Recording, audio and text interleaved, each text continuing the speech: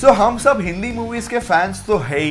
तो चांसेस है कि आज के जो कंट्री के बारे में मैं जो बात करने वाला हूँ आपने कोई भी टाइप के मूवी जैसे सलमान खान शाहरुख खान या यशराज की मूवीज़ में 80s और 90s में कोई ना कोई डांस सीक्वेंस या पूरी की पूरी मूवी वहाँ पे जो शूट हुई है ना आज देखी होगी। जी हाँ आज हम एक्सप्लोर करने वाले हैं the island nation of Mauritius ये इंडिया से ज़्यादा दूर नहीं है तो आज इसके बारे में सारी जानकारी हम इस वीडियो में जानने वाले हैं।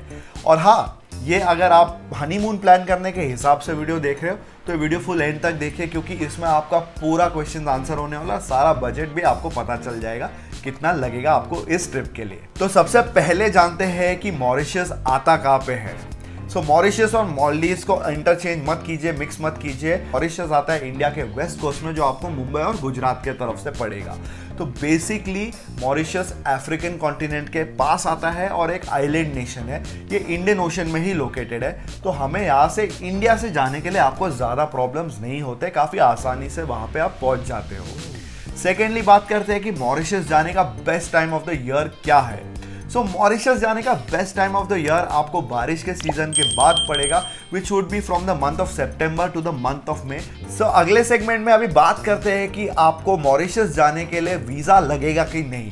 तो आपको मैं एक बहुत अच्छी खुशखबरी दे देता हूँ कि मॉरिशस जाने के लिए आपको वीज़ा है, पर visa is free and visa is on arrival यानी कि आपको कोई भी टाइप का फ़ीस वहाँ पे जाके नहीं भरना पड़ेगा.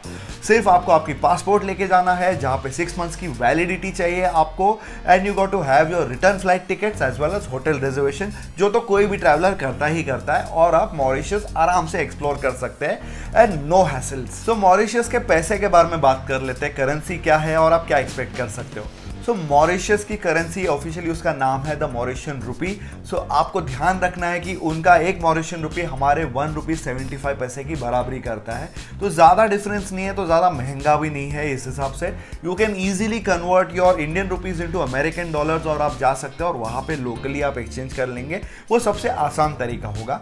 इसके अलावा अगर आपके पास फॉरेन एक्सचेंज कार्ड या आपके पास क्रेडिट कार्ड है तो भी आपके लिए बहुत बढ़िया रहेगा। उसमें आप आराम से वहाँ पे जाके यूज़ कर सकते हो you will not have any problems when it comes to money in Mauritius so Mauritius पहुँचने का तरीका is the only way you can reach Mauritius is by taking a flight तो इंडिया से फ्लाइट्स की frequency काफ़ी अच्छी है वहाँ पे जाने के लिए बट स्लाइटली अगर आप कंपेयर करोगे तो आपको मालदीव्स के कंपेरिजन में थोड़ा महँगा पड़ सकता है।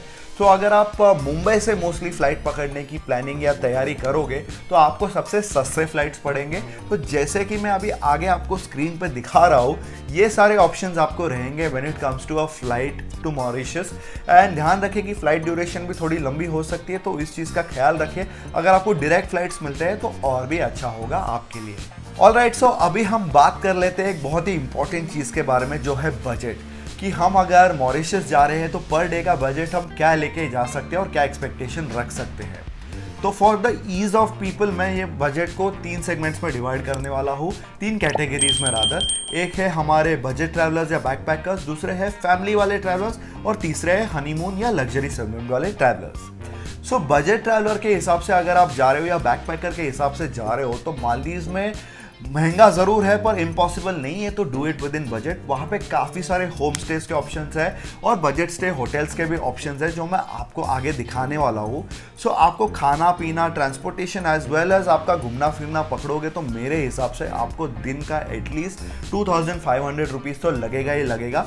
सो so, आप उस हिसाब से मन बना के चलिए with the budget secondly as a family traveller जा रहे हो या ग्रुप में आप जा रहे हो with your family so you have to keep in mind चार लोगों का दिन का बजट बजट आप एनी वेयर बिटवीन एक मिड रेंज होटल और खाना पीना transportation with activities and sightseeing पकड़ोगे तो आपको seven to eight thousand rupees लगेगा लगेगा। वो आराम से है, इतना तो कॉस्ट आपका जाने ही वाला है।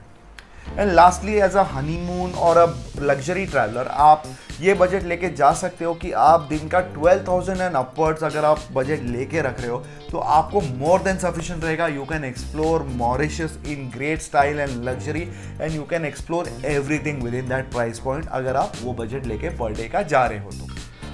तो अभी जानते हैं कि हम मॉरिशस में क्या क्या देख सकते हैं, कर सकते हैं और एक्सप्लोर कर सकते हैं। तो मॉरिशस में जैसे मैंने आपको बताया, एक आइलैंड होने के वजह से बीचेस तो वहाँ के बहुत ही ब्यूटीफुल बहुत ही सुंदर है, बहुत साफ़ सुथरे हैं और बहुत वैरायटी है on all four sides of the island इसके अलावा आप मॉरिशस में जाएँगे तो आपको वाटर स्पोर्ट एक्टिविटीज़ भी भर भर के है, जैसे कि scuba diving and other activities साथ में ध्यान रखिए कि मॉलडीज मॉरिशस जैसे एक थोड़ा बहुत प्रीमियम लोकेशन डेस्टिनेशन है तो आपको वहाँ पे चीज़ और एक्टिविटीज़ थोड़े प्राइसी पड़ सकते हैं।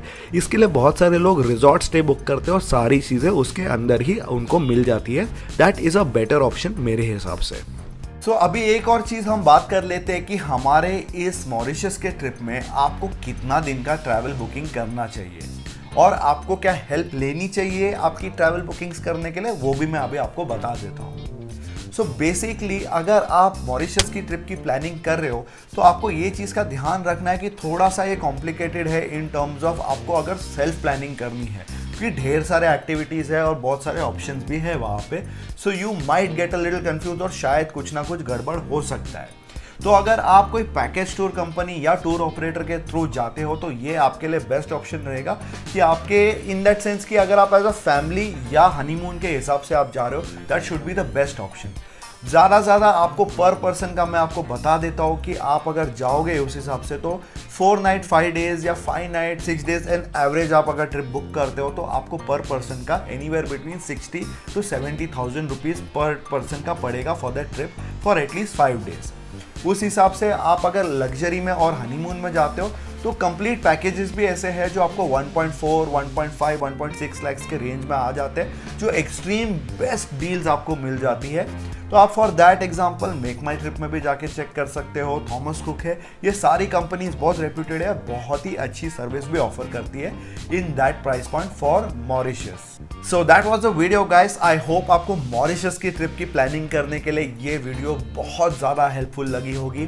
पसंद आया होगा तो please do not forget to like this video comment and share with your friends guys और अगर चैनल के साथ नहीं जुड़े और नए हो तो प्लीज़ सब्सक्राइब का बटन दबा दीजिए। चैनल को बहुत मदद मिलेगी ग्रो होने के लिए।